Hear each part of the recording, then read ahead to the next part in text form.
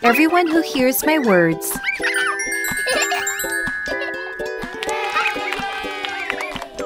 And does as it says. Is like a wise man. Who built his house on the rock.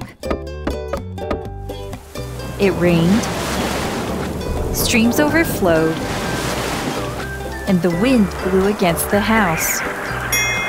But the house didn't fall Hallelujah. because it was built upon the rock. Yippee